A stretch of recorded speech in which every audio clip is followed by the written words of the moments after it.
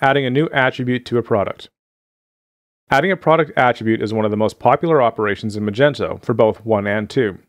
Attributes are a powerful way to solve many practical tasks related to a product. This is quite a broad topic, but in this video we will discuss the simple process of adding a drop-down type attribute to a product. For this exercise, assume that the sample dataset is installed. We will add an attribute called clothing material with the possible values cotton, leather, silk, denim, fur, and wool. We will make this attribute visible on the product view page in bold text. We will assign it to the default attribute set and add a restriction that any bottom clothing like slacks cannot be the material fur.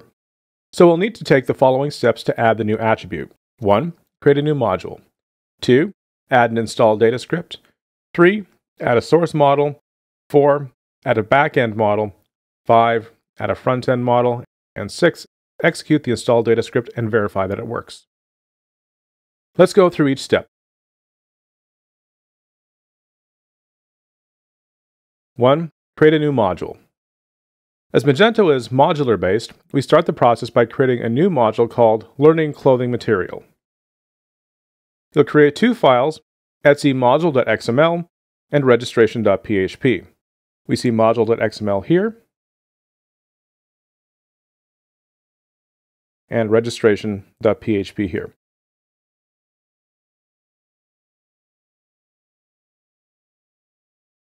Number two, create an install data script. Next, we need to create the install data script.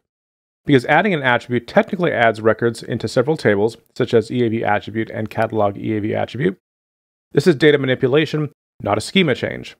Therefore, we use install data instead of install schema. So I'll create the file app code learning clothing material setup install data.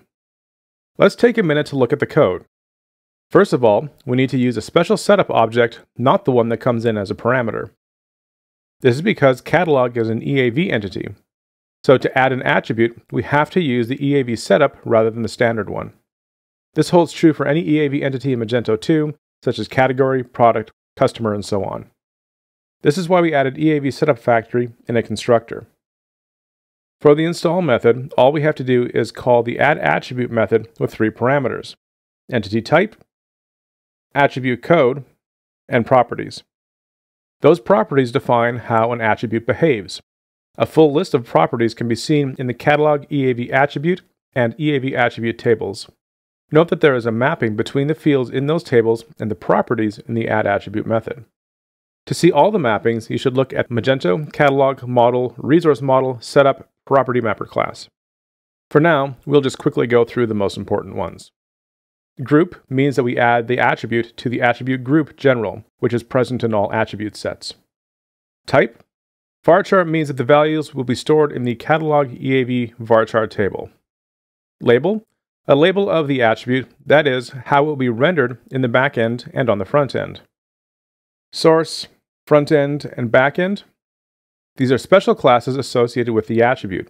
A source model provides a list of options, Frontend defines how it should be rendered on the front end, and backend allows you to perform certain actions when an attribute is loaded or saved. In our example, it'll be validation. Global defines the scope of its values, global website or store. Visible on front is a flag that defines whether an attribute should be shown on the More Information tab on the front end. Is HTML allowed on front defines whether an attribute value may contain HTML. Step 3 Add a source model. Next, we need to create the source model under App Code Learning Clothing Material Model Attribute Source Material.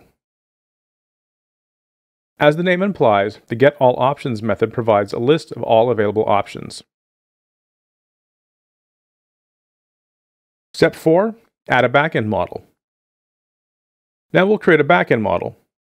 We'll put it in app code learning clothing material model attribute backend material.php. In our example, we implement only the validate method.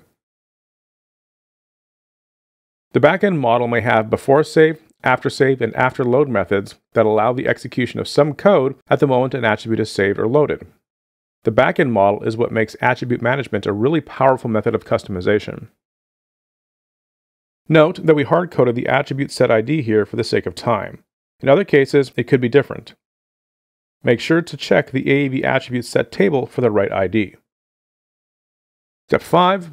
Add a front-end model. And finally, we create a front-end model to make our value bold.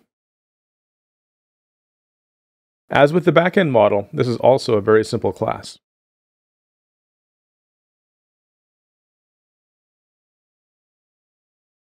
Now we can run our code and check the results.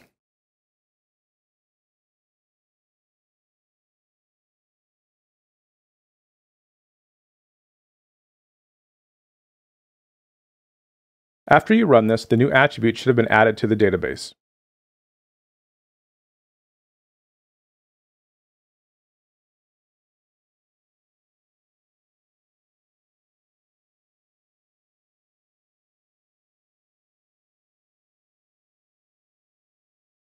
We see clothing material down here, the primary key of 155.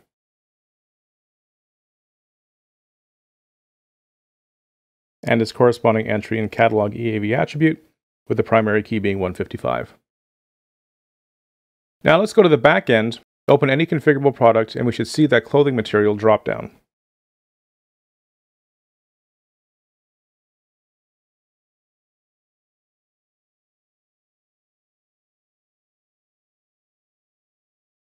We'll set our filters to be a configurable product with the attribute set bottom. We'll select the first item.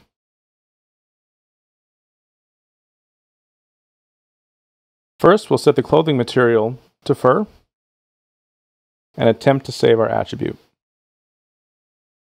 We see that our backend model was executed successfully.